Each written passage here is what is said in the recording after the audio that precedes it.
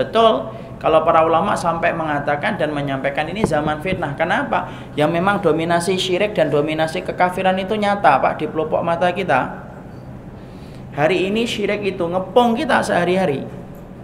Sampai kemudian di kantong-kantong kita saja terkadang tidak sadar kita membawa program-program syirik tanpa disadari. Apa itu Ustaz? Bapak Ibu sadar nggak ya? Kalau kemudian kita ini bawa handphone di Play Store itu, kalau kita ketik dukun, itu keluar itu programnya dukun.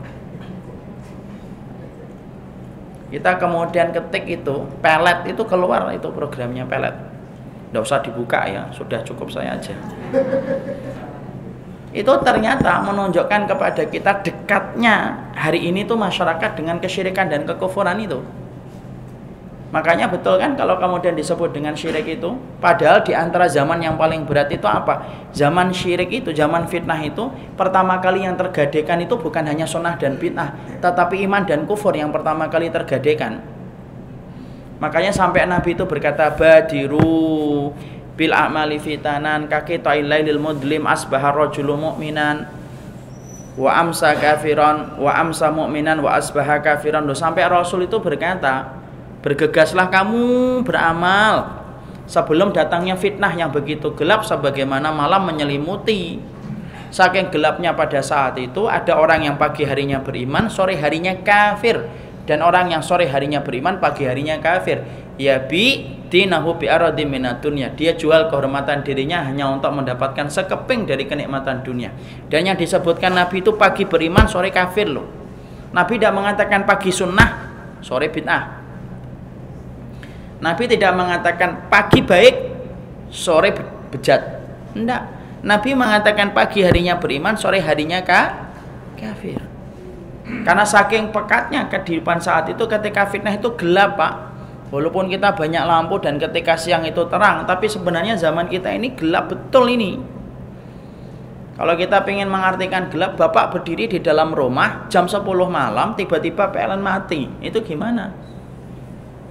Kita jalan ke belakang yang biasanya setengah menit menjadi lima menit lebih. Kenapa? Karena kita harus meraba-raba dulu untuk sampai ke kamar mandi. Padahal biasanya kalau terang jelas.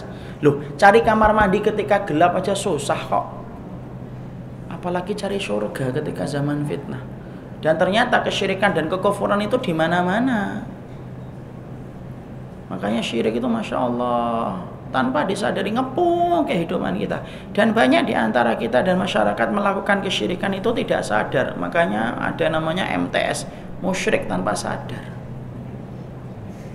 Ya karena kemudian dia tidak ngerti ilmunya sampai melakukan kesyirikan. Karena tidak paham. Karena dia tidak paham sampai kesyirikan ngepung. Makanya sampai Nabi itu ketika menggambarkan syirik Rasul yang mengatakan itu apa? Wa antum fi syirki ila kasyaratil baida fi jildi sauril aswadi.